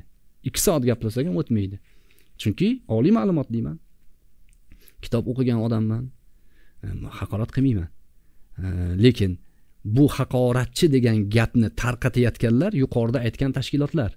Ya'ni man tashkilot deyapman qo'shtirnoq ichida ilmiy javobini berolmagani uchun javoblar ichidan kesib olingan faktorlarni tarqatishib mana bu haqoratchi deb ko'rsatayotganlar. Kimdir meni onamni haqorat qilsa meni onamni haqorat qilyapsan san o'zingni onangni haqorat qilyapsan desam buni tepadagini olib tashlasa onangni haqorat qilyapsan onangni shundoq qilyapsan degan gap man tarqatgan bo'lib qolyapti. Montaj bular. Bular hammasi o'yinlar. Endi to'g'ri. To'g'ri. Ba'zan o'sha xatolarni ichida e, ya'ni hissiyotga berilib ba'zi kalimalarda e, agressiv gaplar ketgan. Ular uchun ba'zida aytaman man uzr so'rayman va aytamanki shaxsiy gaplarim meni dalil emas hech qachon. Man bir insonman hammamiz insonmiz. Lekin din haqida shariat haqida asos e, bilan aytilgan gap haqida u abrorni gapi emas. Yoki sizni ham gapingiz emas. U dinni gapi. Unga ergashish kerak. Dinni o'qidik oz o'qidik. Lekin e, biz o'sha savol berayotgan odamga o'zimizni shaxsiy fikrimizni aytayotganimiz yo'q. Eng bitta sizga bitta narsani aytib ketay hozir. Hmm, o'sha obro' tajovuzi dedimu obro'ga suiqasd. Musulmonni obro'siga suiqasd qilish haqida hadis bor.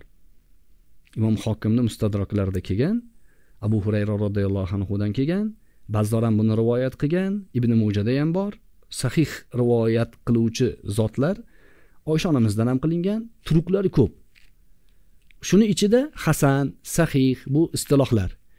Ya'ni ishonsa bo'ladigan targ'ibga olsa bo'ladigan mavzudagi hadis. Shunda aytganlarki riboni riboni. Yetmishdan ortiq gunohi bor. Huban keladi. Huba gunoh bu. Eng yengili eng yengili. Kishi o'z onasi bilan nikohlanganga teng deganlar. Kanikahi arrojul ummahu deganlar. Og'ir gap bu. Bu hadis bu. Meni gapim emas sizni gapingiz emas shuni davomida ribo eng yengili bu deganlar. Orqasida va inna min arba riba irdul muslim deganlar. Lekin riboni riborog'i bu eng yengili bu. Undan ham og'irrog'i musulmonni obro'siga tajovuz qilish. Siz aytmagan gapni aytdi deb montaj qilish.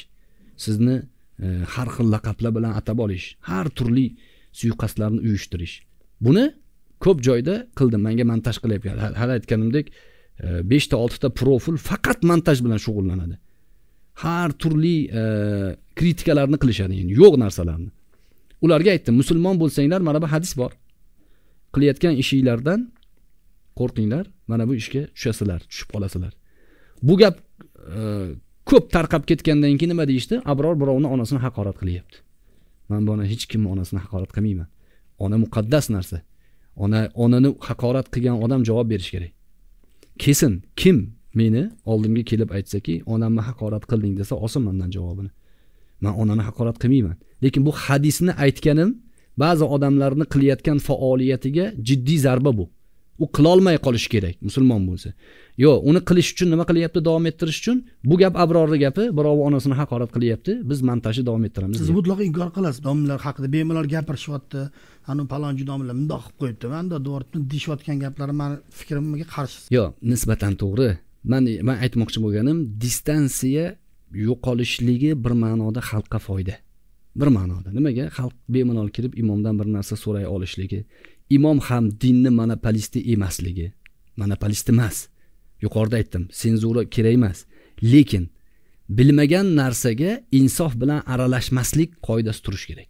Imomdan borib so'rashimiz kerak.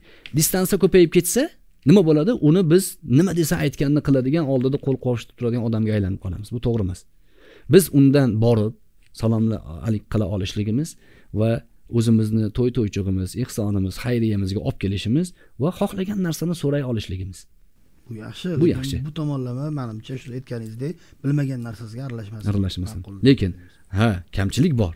Endi e, ular ular shunaqangi e, yaqinlashib bo'lmaydigan narsa bo'lishligi maqtaladigan ish emas o'zi bir ma'noda hurmat tursin hurmat turishga o'sha hurmatni saqlash uchun imom haqidagi tanqidlarga qarshi chiqyapmiz shuning uchun imomni shaxsi xato qilganku desa shaxsini gapir. Qo'lingdan kelsa o'zini oldiga bor. Lekin imom dema deyapmiz. Nimaga? Imom islomdagi ahli sunnaning asoslariga kiradi. Hali aytdim. Imomni tanqid qilishni boshlagan odam ahli sunnadan chiqishni boshlagan odam. U boshlayapti u. Qo'yib bersangiz ertaga imomda iqtido qilmayman deydi. Orqasidan namoz o'qimayman deydi. Va bu shiyalik boshqa toifalarga aylanib ketadi. Meni maqsadim shu. Ha obro'li hozirgi kunda ham ba'zi ulamolarimiz bor oldiga borib og'iz qurib qoladi gapirolmaysiz hozir ham bor. O'zi haybat salobat bu taqvoga amalga qaraydi. U diyonat. Islomda diyonat va qazo degan narsa bor. Biz zohiriga qarab imommi shu kishi? Imomni hurmatini qilib qo'yaveramiz. Masalan bugun hozir muftiy hazratlari ishdan ketsin degan kompaniyani uyushtirishyapti. Yosh bolalar. Yosh bolalar. O'zi bir oilani boshqarib bir jamiyat tuzgan odam emas. Muftiy ketsin. Nima uchun? Havolanyapti atrofidagi odamlar qarsak chalyapti vaholanki masalan ramazonni qachon tutasiz? Muftiy fatvo bergandan keyin tutasiz. Biz ergashamizmi? Ergashamiz. Musulmonlarni rahbari u odam. Qachon e, ro'zani tugatamiz? Fatvoga qo'l qo'yadi u kishi aytadi ulamolarga aytadiki fatvo bugun deydi ro'zani ochamiz yoki e, bugundan arafa kuni deydi. Hajni belgilaydi qurbonlikni aytadi zakotni nisobini bildiradi. Diniy masalalarda muftiy u kishi. Imom bizga diniy masalalarda imom. Mebelchi o'zini mebelini qilsin. Imomni gapirmasin. Endi e, hamma poylab turgan mavzu o'sha yoshlarimiz orasida ishkal bo'libdi deb gap tarqaldi qaysidir ma'noda. O'sha uni uni orasidagi bo'lgan gap so'zlar hali aytganingizdek sabotaj montaj bu narsalarga chuqurlashib e'tibor berishmadi yengilroq tarafiga ya'ni o'sha tushirilgan musht to'g'risida muhokama ko'tarilib ketdi Hmm. man yana boyagi mavzuga qaytaman siz shogirdlari bo'lganingiz uchun mana shu holat o'tgandan keyin uni ichidagi har bir e, to'yfillarni hozir aytib o'tasiz tushuntirib o'tarsiz balki xohlasangiz. Lekin mana shu holat o'tib bo'ldi mana bugungi kunga keldik bir necha kun o'tgandan keyin mana shu yechimni boshqacharoq yo'lda yechishim mumkin ediyu degan fikr keldimi yo'qmi? E, albatta man har doim dialog tarafdoriman. Dialog bo'lsa gaplashilsa madaniy suhbatda har qanday muammo yechiladi. Butun davlat dunyo dialogga agar labbay desa urush bo'lmaydi. Miting qiladigani ham masalan belarusiyada bo'layotgan ish dialogga kelsa urush bo'lmaydi. Kelishadi ikki taraf. Hamma o'zini ishini aytadi. Dialog bo'lmagan joyda haqorat boshlanadi. Haqorat oqibatda og'ir natijalarga keltirib chiqaradi. Man u hodisa bo'yicha u sobiq deputatni bir necha bor dialogga chaqirdim. Man jonli efirlarda gapirdim. Unga alohida adres berdim. Chiqib jamiyatga tushuntirsin. Agar gap haq bo'lsa biz qabul qilaylik. Agar gapi haq bo'lmasa to'xtasin. Muftiy hazratlari emish riboga fatvo topib bersinlarmish. Muftiy hazratlari chiqsinlar angliyada qandaydir muftiy riboga sudxo'rlikka fatvo topib beribdi. O'tiraveradilarmi? Chiqsinlar fatvo bersinlar bizni biznesimiz yurmayapti deyapti. Kimga aytyapti u gap jonli muloqotda o'zini sahifasida o'zbek segmentiga aytyapti uni atrofida qarsak choptirganlarga turganlar e, ga aytyapti. Bungacha yetib kelishligi qanaqa? Diniy auditoriyani jalb qilishlik uchun ro'mol hijob soqol masalalarini ko'tarib chiqqanday bo'lyapti. Bular man har doim buni e, kuzatgan odamlar biladi. Munosabatini bildirib kelganman. Ilmiy asosi qanday? Siyosiy voqeasi qanday? E, mandan taklif bo'lsa nima qilaman? Man o'zimni atrofimdagi meni gapimga quloq soladiganlarga nimani aytaman? Buni hamma biladi.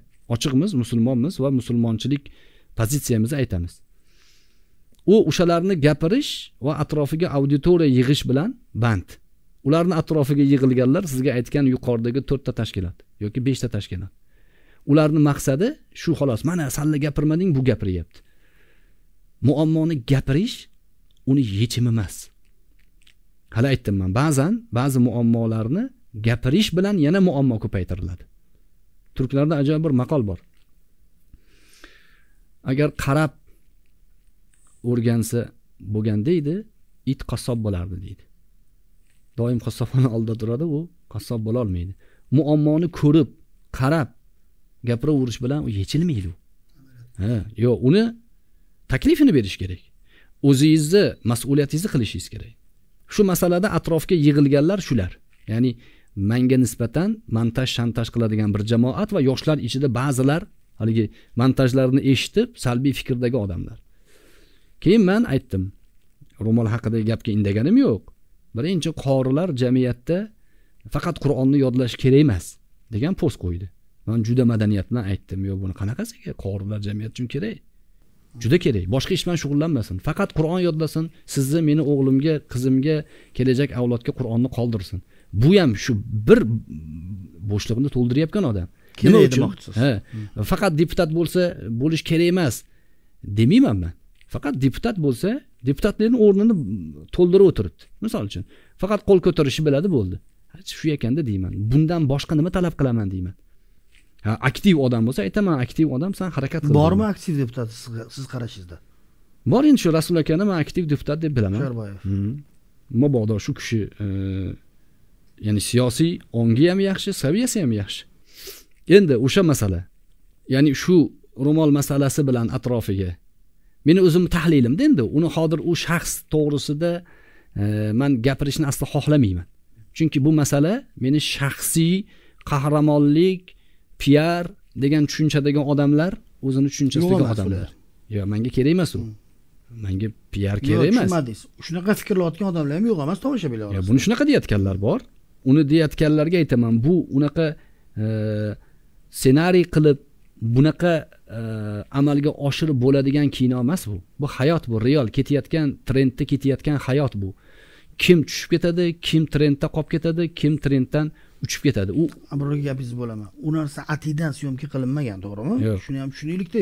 Tomoshabinlar bilsin hali piar deganingizga hozir esimga tushib qoldi bu kuzatuv kamerasiga tushib qolgan mani nazarimda hmm. to'g'rimi? Uni aytaman hozir. Ya'ni bu masala meni hayotimda bo'ldi yopildi. Hamma narsa o'z o'rniga keldi to'xtadi. U odam to'g'risida ham man endi bo'ldi hayotimda u odamni nomini ham tilga olmayman. Nima uchun? Meni hayotimga shaxsiy odamlarni daxli yo'q. Shaxsiy hayot ketaversin hammani o'zi. Lekin bizni dardimiz bizni muammolarimizni gapirish bahonasida o'zini shaxsiy siyosiy mavqefiga urinayotgan odamlarga hey to'xta dedim o'sha paytda. Ro'molli gapirgani uchun hech kimga qarshi gapirmaganman. Ha ro'mol muammo.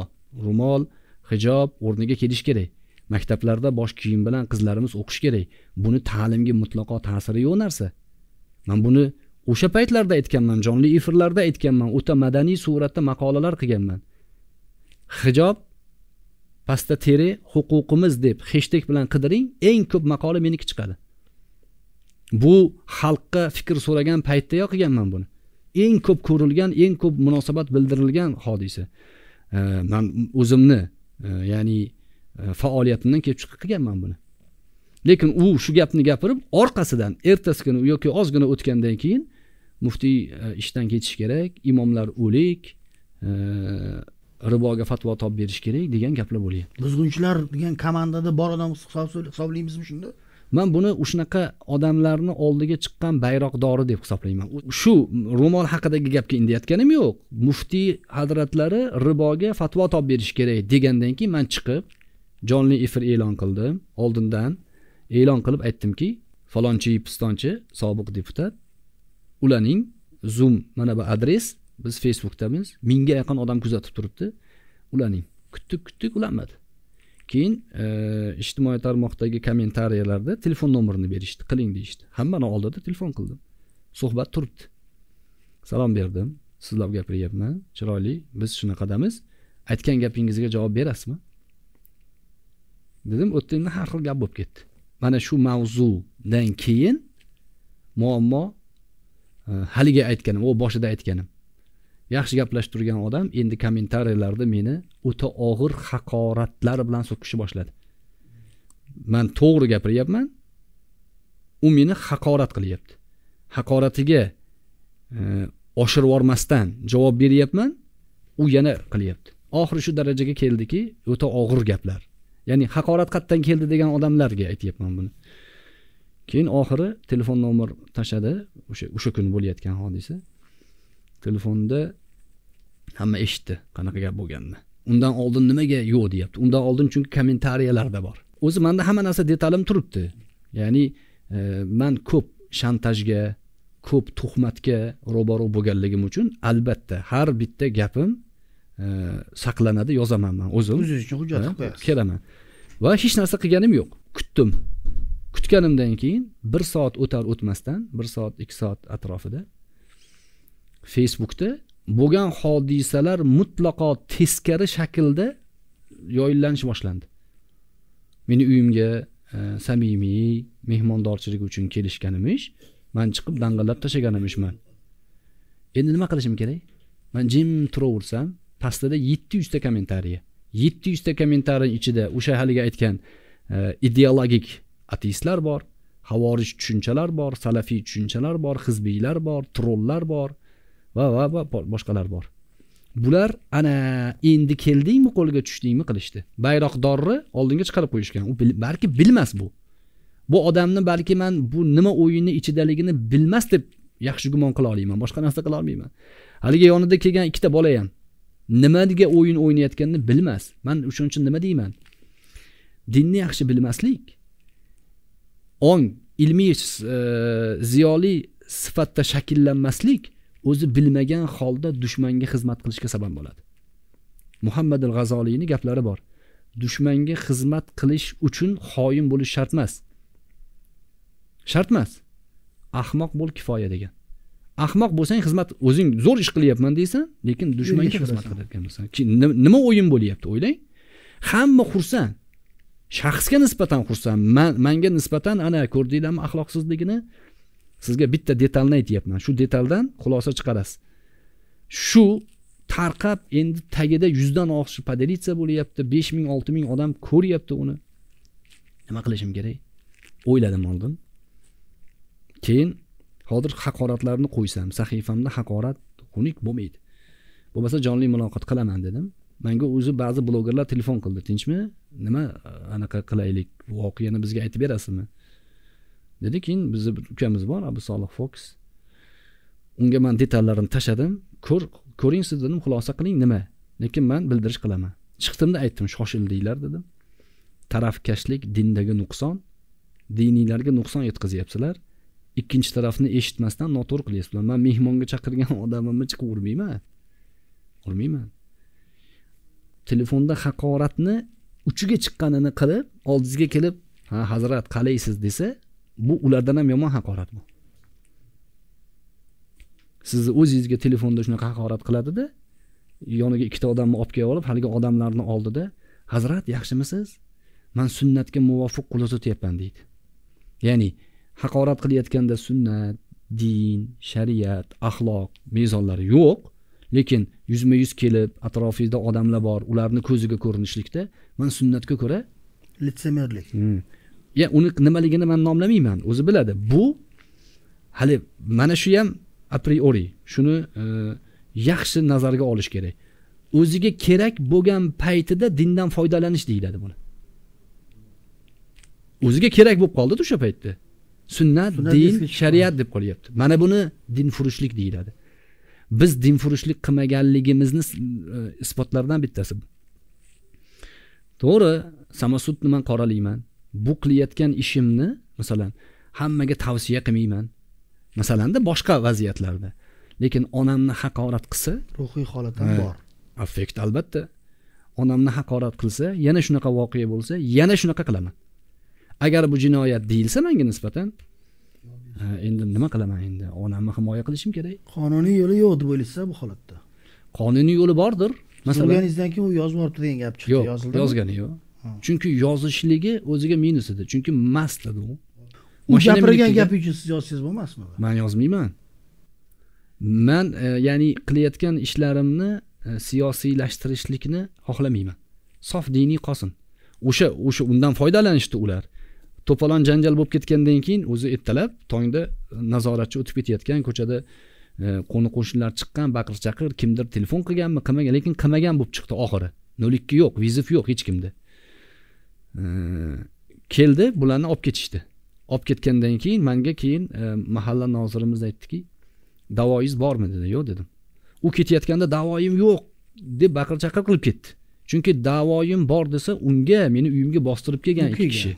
ha u kelgan ikki kishi bilan kelgan va mast holda kelgan va mashina haydab kelgan man shu suhbatda eshitdimki sizni fikringiz mast dedingiz.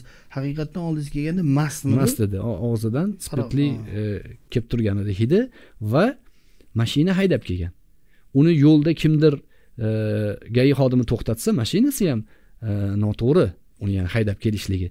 Bu agar da'vogarman desa o'sha zahoti yozuv chizuv bo'ladi ekspertiza hamma narsa bo'lib ketadi u unga minus bo'ladi. Manga hech qanaqa minus joyi yo'q. Man uni o'sha bezorilik bo'yicha nimadir bo'lsa man uni e, tayyorman degan holatdaman. Lekin yana aytaman bu ish bunga o'xshagan hodisa boshqa odamlarga ya'ni samasud masalasini hech kimga tavsiya qilmayman. Shariat ham buni joiz demaydi. Endi hozir o'sha haligi yetti yuzta kommentariy yozganlar nima qilish bilmay qolishdi. Ya'ni asl haqiqat chiqdiyu tezda abu solih ham qo'ydi qo'yib yubordi ular ichidan ellikka yaqin odam ya'ni yoshlar ta'sirlanib qolganlar manga chiqib uzr so'radi. Aka kechirasiz uzr biz juda qattiq adashib ketayotgan ekanmiz. Mana shu bizga katta dars bo'ldi dedi. Qolgan birortasi to'g'ri e, xulosa qilgani yo'q lekin nima qilishdi? Shariatda yuzga urish mumkin emas. Shariatda undoq. Hech kim aytmaydiki shariatda onadan so'kish mumkin emas. Javobingiz nima bo'ldi siz o'shalarga man javob bermayman ularga. Manga yuzimga kelsa javob beraman. yuzga urish shariatda bormi? Harommi halolmi harom. Albatta harom yuzga urish harom joiz emas demak man sizni mana shunaqa baholasak bo'ladimi? Noixtiyoriy majburiy holatda bu ishni qildingizda affekt albatta affekt. Endi mana mana bunaqa narsa kelib chiqadida hozir siz chunki ko'p tinglovchingiz bor abror aka. Sizni kuzatuvchilaringiz bor o'shalar orasida yana kayfda kimdir kimdir onasini so'kib qo'ysa man ham mana shunaqa qilishim kerak ekan. Yo'q asli shariat qonun qoidasi bo'yicha shariat qonun qoidasi bo'yicha so'kkan odamga nisbatan farishtalar haqorat qaytaradi unga so'kkan odam o'zini onasini so'kkan bo'ladi. Bu vaziyat e, albatta shar'iy nuqtai nazardan birov har kim o'zi jazosini berib ketaveradigan ish emas. Chunki bunga e, shunaqa desangiz hamma yoq dabdala bo'lib ketadi. Bu joiz emas. Shariat aytadiki yo'q o'zing jazo berishga haqqing yo'q deydi. Endi mandagi vaziyat insonman kechasi uxlamagandim o'sha kuni. Kechasi ertasi kun masjid ochiladigan kun. Jamoat haqida menga savol tushgan. Jamoatga otalarimiz oltmishga yetmishga kirganlar chiqishmoqchi. Lekin pandemiya keksalarga tez yuqyapti. Ularni immuniteti past. Shundan ehtiyot qilib jamoatga chiqarmasak bo'ladimi degan savol tushgan. Bunga javob berdim. Boshqa savollar bo'ldi. Ikki soat taxminan to bomdodgacha suhbat bo'ldi. Bomdodni o'qiyman deb tursam haligi xat. Onamdan haqorat qilgan xat telefon telefon qilsam boshlanib ulanib ketdi keyin. O'sha stress o'sha vaziyatda chiqib u yerda e, albatta u e, balki ko'kragga urib yiqitishi mumkin edi balki uni o'lchaydigan ya'ni bichim qiladigan holat emas edi. Besh kundan keyin kelgandachi bu holatdan keyin oldingizga? Urmasmidingiz balkim? Balki ha. Yo uni masalan onamdan haqorat qilganligi uchun shunga yetarli ya'ni javob olib kelsa albatta kechirishlik islomni e, xulqi. Besh kundan keyin soviganingizda urmasdingiz oldin muzokara qilardingiz. Yo man shu fikrimda qoldim desa baribir kalta yerdi endi telefonda muzokaraga o'rin qolmagan edi o'zi asli. telefondagi gapda kelib salom berish tushuntirish uchun hech qanaqangi o'rin qolmagan edi. Endi umumiy xulosa bu hodisa bo'yicha. Va bizni eshitayotgan e, sizni ham auditoriyangiz ko'p. E, birodarlarimiz aka uka opa singillarimizga bu mavzuni cho'zmaslik kerak. Chunki shaxsiy emas bu ish bu ishni orqasida ya'ni bizni faoliyatimizga noto'g'ri talqin qilayotganlarga nisbatan aytilgan gap edi. Buni natijasi shu bilan tugadi. Endi buni ko'paytiraverish cho'zaverish shaxsiylashib ketadi. Va shaxsiylashgan sari buni foydasidan ko'ra zarari ko'p bo'ladi. Va man buni aytaman mana e, ba'zilar montaj qilib rasmlar qilib kalakalar qilib kulgular qilib tarqatishyapti man buni tarafdori emasman. O'zimni hattoki sahifamga o'sha keyingi chiqqan narsalarni qo'yganim yo'q. Boshqalar qo'yib yotibdi. E, to'xtatib tugatib bo'lgani yo'q. O'sha kuni hamma kanal qo'yib tashlagan. O'zingiz uchun ham yopdingiz boshqalar yopishni xohlaysiz man yopdim bu ishni. Bu masalaga qaytmayman. U odamni nomini tilga olmayman. Lekin bitta yana gap yana din haqida gapirsa yana raddiya beraman. Yana qilayotgan ishini noto'g'riligini ko'rsam jim turmayman. Endi bu anaqa ekan deb ketmayman. Kimdir unga ergashayotgan bo'lsa ogohlantiraman. Noto'g'ri bu. Chunki mas'uliyatimiz buni aytib qo'yish. Siz u insonni shaxs sifatida yaxshi taniysizmi shaxs sifatida yuzma yuz ko'rishib tanimayman. Lekin manda shunaqangi imkoniyatim bor. Ya'ni ko'p manda auditoriya eshitayotgan odam. Man suhbat qilayotgan odam to'g'risida besh kun o'n kunga o'tmasdan yetarli ma'lumot qo'limda bo'ladi. Ya'ni u odamni atrofida turgan yoru do'st birodar hattoki eng yaqin aka ukalarigacha manga xolis informatsiya beradigan va bu vaziyat mana bundan iborat deydigan muxlis yaxshi o'rtoqlarim bor. Diniy va siyosiy tushunchasi qaysi darajada deb bilasiz? Siz kuzatuvingiz bo'yicha shu insonni. Shaxsiy fikrim diniy tushunchasi yo'q. Mutlaqo yo'q deb hisoblaysiz. Ya mutlaqo yo'q bo'lmaydi buni o'zbek e, e, musulmon xalqi ota bobolarini musulmonligini ko'p ta'kidlaydi. Ota bobolari bilan maqtanish bilan qotib qolgan o'zida yo'q unaqa narsa chunki o'zini faoliyatida hayotida ham bu uni shaxsiy hayot. Man aralashmayman. Qanday hayot kechirsa hayot kechirsin lekin din e, taqozo qilgan hayotdagi e, odam emas meni bilishim e, shunaqa vaziyatda. Siyosiy tushunchasi o'ta sayoz. O'ta sayoz chunki siyosatda xohlagan gapni gapirib trendga chiqaman degan odam ziddi bilan jazolanadi. Ya'ni buni e, e, yetti mo'jizaga o't qo'ygan odamni bilasiz tarixda. Yetti mo'jizaga nimaga o't qo'yding deganda u nima degan? Mashhur bo'lish uchun degan. Sud unga qaror chiqargan. Nima degan? Buni tarixda nomini o'chiringlar deb. Ziddi bilan jazolangan. Siyosatda shu. Mashhur bo'lmoqchi mashhur bo'lish uchun bugun trenddagi mavzuni gapirishim kerak deyish insonni ziddi bilan jazolaydi. Man buni bahosini bermayman xalq ko'rib turibdi. Bu hodisadan keyin u odamni uzrdan boshqa ko'chasi qolgani yo'q. Savolimizni yakuniysi bu. Mhm. oxirgi savolim. Bugun siz olib borayotgan yo'l uslub dinni targ'ib qilish yo'nalishidagi uslub. Siz olib borayotgan yo'l o'tayotgan dars deymizmi ma'ruza deymizmi yoki bo'lmasam mana buni qilsang bo'ladi bu gunoh deb o'rgatish uslublaringizda kimlargadir aqlli qilyaptimi o'zi nima qilarkan narsa degan xil ig'volar bor lekin hammaga bir xil ma'qul kelishligi uchun qiyin vaziyat bu hammaga bir xil yoqib bo'lmaydi hamma bir xil ko'nib bo'lmaydi lekin shu ellikdan oltmishga o'tdimi demak natija bor deganida shunaqa bo'lishligi uchun nimalar qilmayapman deb o'ylayman albatta statistika yuritaman siz aytayotgan savol statistikaga qarab belgilanadigan narsa har bitta aytayotgan dars suhbat yoki bo'lgan hodisalarda statistika yuritaman. Va statistika yuritadigan meni qo'limda e, shogirdlarim bor. Va har doim statistikaga qarab e, e'tibor beradigan jihatlarim bor. Buni e, ya'ni o'zimga nisbatan emas albatta ko'proq manfaat bo'lishga harakat qilaman. E, masalan deylik keskinlik. E, shu oxirgi paytlarda keskin savolga keskin javob keskin savol keskin javob. Ehtiromsiz aytilgan gapga ehtishomsiz javob bo'ladi degan maqol bor arablarda. Ehtishom yo'qolishligi haligi odamni hurmati bemalol shunaqa narsaga o'tib ketishligi bularni oldini olishga harakat qilishligim kerak albatta. Iloji boricha mana hozir siz bilan ikki soatcha gaplashdik. Sokinlik va albatta sabr bo'layotgan suhbatda suhbatni o'zidan chalg'imaslik. Mavzuda ketayotganimda man har bitta suhbatimni tahlilida shu mavzuni batafsil yoritmasdan boshqa mavzuga sakrab o'tib ketmaslik ilmiy faoliyatni to'xtatmaslik kunlik vazifani qilish. Mana kitob o'qishlikda kunlik vazifamiz bor uni qilishimiz kerak. Meni o'zim vazifam. Va e, buni bo'lgandan keyin bunaqangi tahlilimiz bor. Albatta bu tahlilni e, qilamiz va o'sha sizni savolingizga keskinlikni biroz yumshatish. Keskin javob bergan odamlardan ba'zan tag'oful qilish. Tag'oful degani ko'rib ko'rmaganga olish. Yo'q. Mas ko'rib turibsizu ko'rmaganda o'tib ketish. Ko'rmadi deb o'ylasin. Tag'oful ahmoqqa berilgan sadaqa degan arablarda maqol bor. Endi o'sha tag'ofulni yo'qligi manda ham ko'p narsalarimga halal beradi. Man hamma narsaga o'zimga mana shaxsan o'zimga yo'naltirilsa ba'zan javob berib yuboraman. Keyin o'ylayman shunga javob asli kerak emas edi. Xato shu. Shunga javob bermasligim kerak edi. Mani o'zimga ham foydasi bo'lmadi unga ham hech kimga foydasi bo'lmadi. Lekin ba'zi fikrlar bor. O'sha fikrlarga javob bersam loy ko'chaga o'xshaydi u. Albatta u ko'chaga kirganingizda u yoq bu yog'ingiz loy bo'ladi. Lekin o'sha javob qo'yilgan e, mavzuni xulosasi uchun juda katta yordam beradi. Kommentariylarni o'qigan izohlarni ko'rgan odam undan foyda oladi. Unda aytamanki demak bu jihatga e'tibor qaratish kerak. Va savolingiz biroz e, chuqurroq ya'ni yuksak saviyada beryapsiz. Buning uchun ya'ni tahliliy e, nazariyaga e'tibor qaratish kerak deb bilaman o'zimga ya'ni.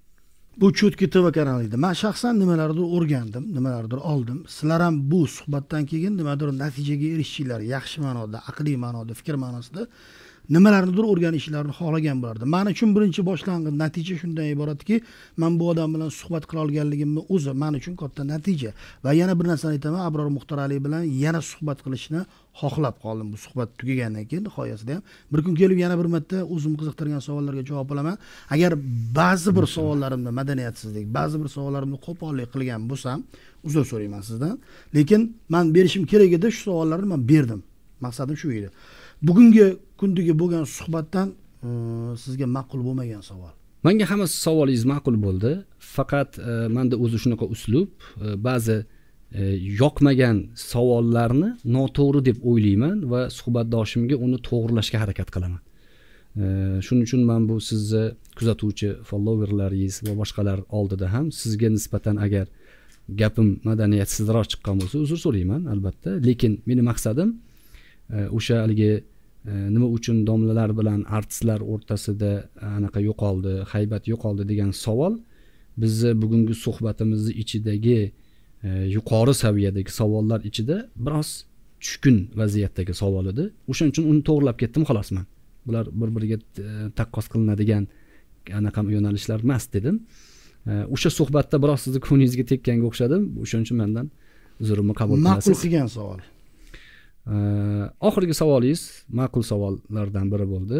Ya'ni siz e, suhbatlaringizni yanada ham foydaliroq manfaatliroq bo'lishi uchun e, nimalarga e'tibor qaratasiz degan savolingiz. Bu e, jiddiy suhbat uchun eng asosiy motor hisoblanadi. Bir inson natijaga erishmoqchi bo'lsa ya'ni qilayotgan faoliyatidan natijani naqadar olayotganini o'sha ishni tahlili orqali biladi. Savolingiz? Yoqdi? Abror aka vaqti soati kelib mana shu ko'rsatuv efirga qo'yilgandan keyin cho'tki tvni muxlislarimni tashqaridan qo'shilgan muxlislarimni yaxshimi yomonmi ijobiymi salbiymi kommentariylardan kelgan ozgincha vaqt o'tgandan keyin yana man siz bilan suhbat qilmoqchiman desam rozi bo'lasizmi?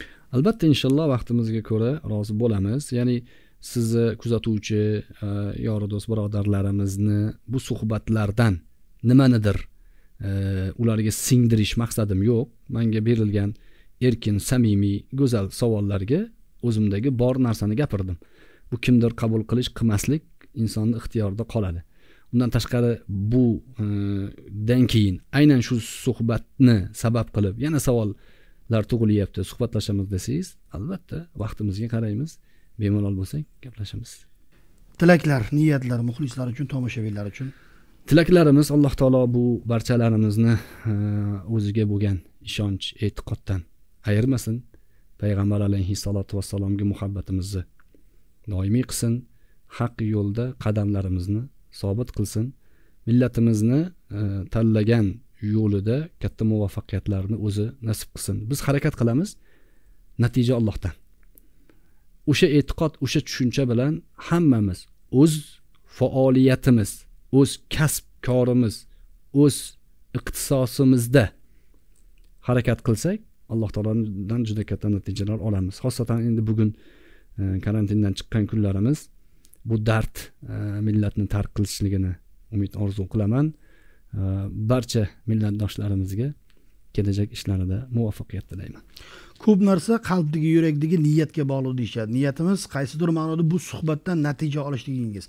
Assalomu alaykum deb yana sizlar bilan yorug' yuz bilan ko'rishlik nasib etsin. Bu cho'tka tv kanali yakkama yakka ko'rsatuv edi salomat bo'linglar.